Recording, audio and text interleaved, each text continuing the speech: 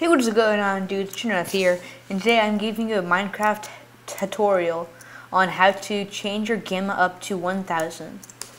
So the default is just 100, that's all you can go up to. But you can go up to 1000, but you're going to need to go to your Minecraft folder and change that. And I'm going to be showing you how to change that on a MacBook.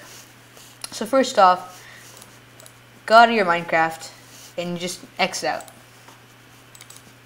you don't have to exit out, but you're going to need to in the end. So, And then click the go button right here. Then if you don't see a, a library little section right here, click options. It's near the space bar on your keyboard. Just click options and it should come up right there.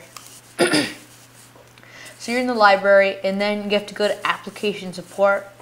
You might need to scroll down find it, but for me it's right here and then click Minecraft, the Minecraft folder. And then you might have to scroll down some, but go into your options.txt, and then this whole thing will come up, all this stuff. Double click it, or you can double click that part right there, the options.txt. But so you can see the one right here, gamma, right there. It says gamma 1.0 means it's at 100. you can change it so it's 200, 600, 900, whatever.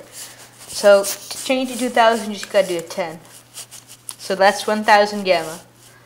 Then you just exit out of there and exit out of this. Go into your Minecraft